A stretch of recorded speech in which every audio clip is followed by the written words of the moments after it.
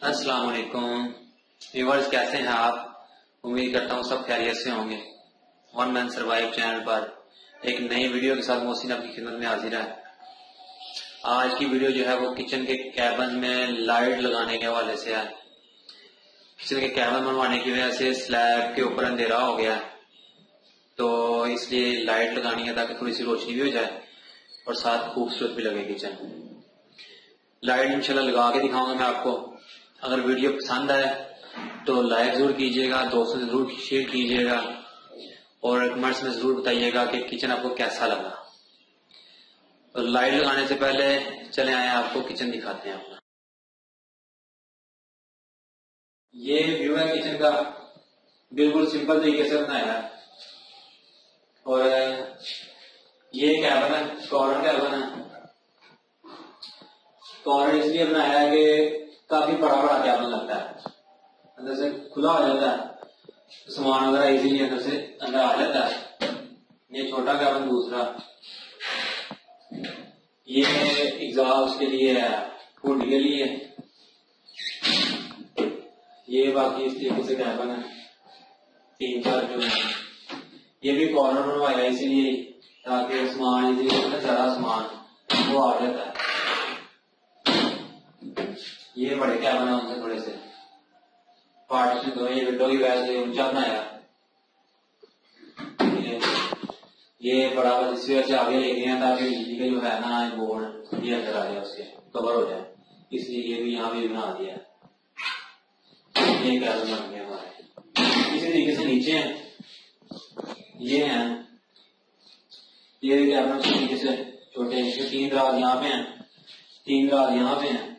बाकी छोटे क्या बने, वो दूसरे। जैसे आम ऊपर थे तीन, चार।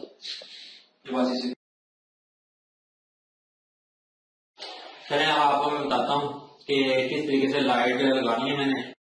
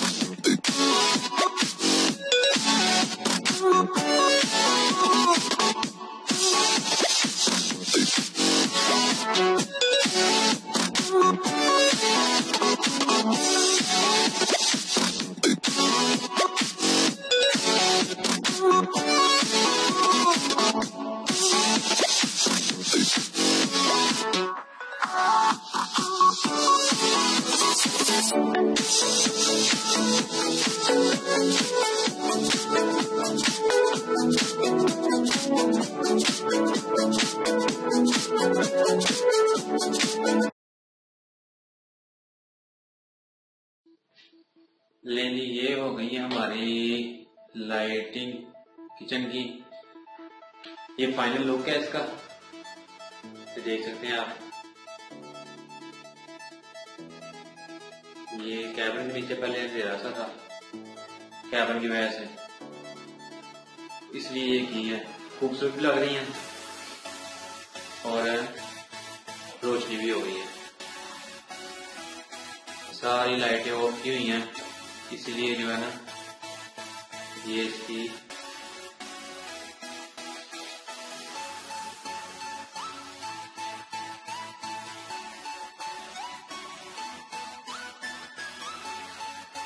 या तो लाइट को कर देता तो दूसरी भी है ये ऐसे का लग रहा है